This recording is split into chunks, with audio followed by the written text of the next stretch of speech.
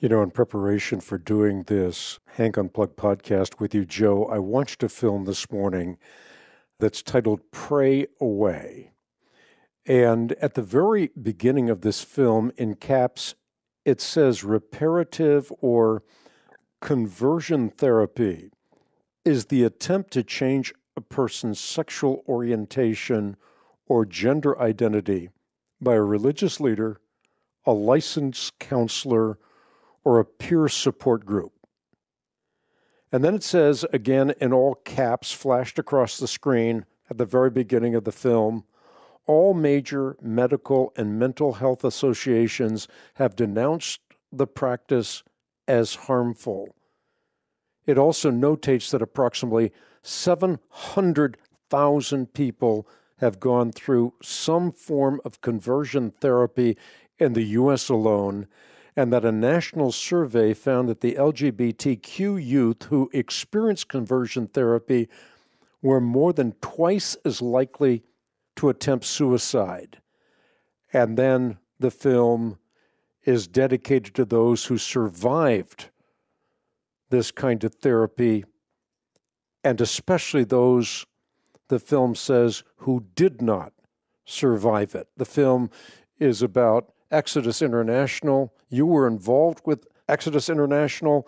And essentially, what this film is saying is that the leaders of Exodus had no qualifications and that they were fundamentalists who believed God created the world and that homosexuality is bad. What say you? well, I at least agree with those last few sentences. We did believe and do believe that God created the world we also believe that God created humanity, that God created humanity with specific intentions, and that homosexuality is not one of those intentions. I believe our anatomy testifies to that. I believe the contrast between men and women testifies to that, and I believe the Word of God strongly testifies to that. Having said all of that, let me say that wherever you have effective propaganda, you'll have a combination of fear and exaggeration just for example, the film conveniently says some 700,000 people have gone through this thing called conversion therapy with no way of really backing those figures up or of doing any sort of assessment to determine whether or not that number of people have gone through such a thing.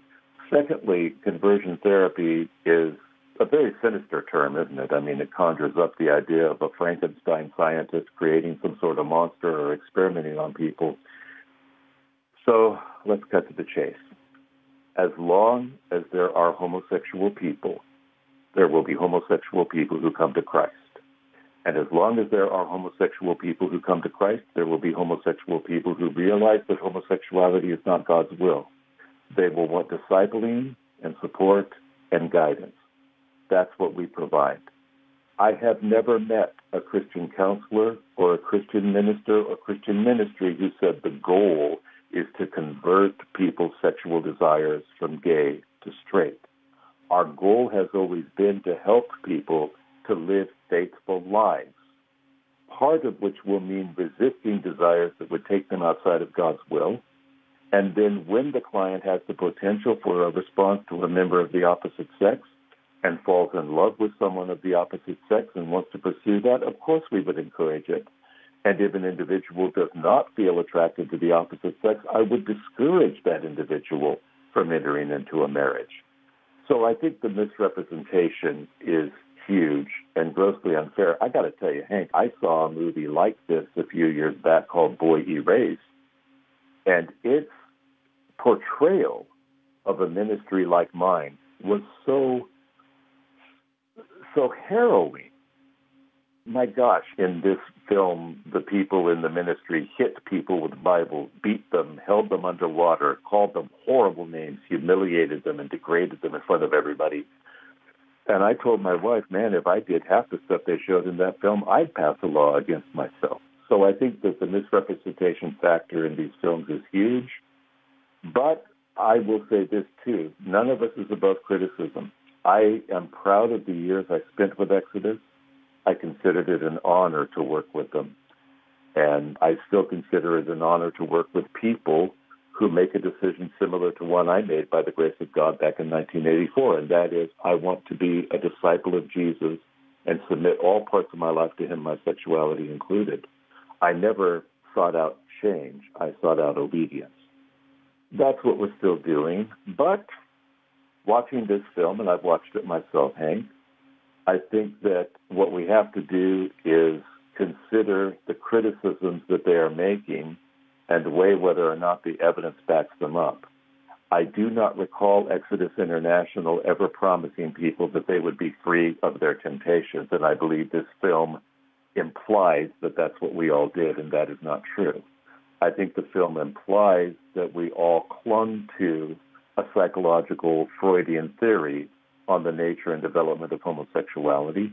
I do not believe that that is broadly true. I think there were some with Exodus who did adopt a neo Freudian approach. And I think that in some cases that approach was applicable to people, but never was it viewed as having more authority than the scripture itself. I think that people are portraying this type of ministry, in this film in particular, they're portraying this type of ministry as coercive and as repressive. And that's especially ironic to me because I know in the work I do and the work I've seen other ministries do, people come voluntarily saying, I believe homosexuality is wrong. Will you help me to live my life in accordance with those beliefs? That's not coercive, it's not repressive. And if I may add one more thing here, Hank. My biggest disappointment with this film is that here you have four people, and I knew all of them pretty well. I co labored with them, and they were also good friends of mine all of them at one time believed homosexuality is a sin. Now they are all openly gay or lesbian. Many of them are in relationships now. And they're all denouncing what they used to believe in. But not one of them in this film, not one, explained how they came to the conclusion that what they used to believe was a sin is now something sanctioned by God. Not one of them talked about how they interpret Scripture now on the issue. Not one of them talked about how they themselves prayerfully studied the Word and how they concluded that the Word legitimizes what they are doing. They relied only on their experience, by which they said, I prayed for my feelings to go away. They did not go away. Therefore, I have decided that God intended me to have them. Well, good grief. Hank, that's a scary way to determine what God intended because I can tell you a lot of things I feel every day that I sure don't think God intended me to feel, much less act on. So I think that that is a very faulty foundation, and the title itself is very misleading. Nobody in Exodus ever said, if you just go home and pray, all your homosexual temptations will go away if we had said that, we wouldn't have been sponsoring conferences every year to teach people what to do with their sexual desires.